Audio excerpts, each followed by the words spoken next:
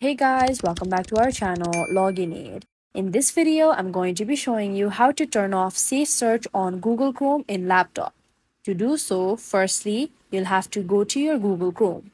Once you open your Google Chrome in your laptop, then at the top right corner, you can see the three vertical dots right beside your profile picture. You may just click on the three vertical dots. Once you click that, a bar opens up giving you various options. Now, you may scroll down through those options. Here at the end, on the second last, right above exit, you can see the settings option. You may click on that.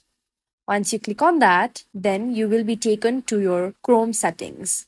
Once you are in your settings, then at the left side of your screen, on the third, you can see the privacy and security option. You may click on that. Now, once you are in your privacy and security, you may scroll down. And then here on the fifth, you can see the security option. You may click on the security option. Once you click on the security option, at the top itself, you can see the safe browsing option. Below that, you're given more options like enhanced protection, standard protection, and no protection.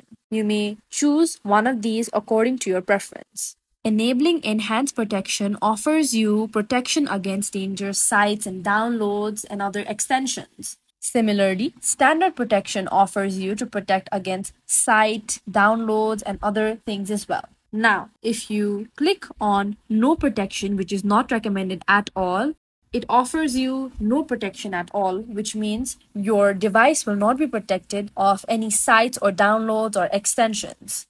However, to turn off safe browsing in Google Chrome, you'll have to click on the circle next to no protection. Once you click on that, a notification pops up on your screen asking for confirmation that if you really want to turn off safe browsing. Now, if you do and you want to proceed, you can just click on the turn off button. This will simply turn off your safe browsing in Google Chrome.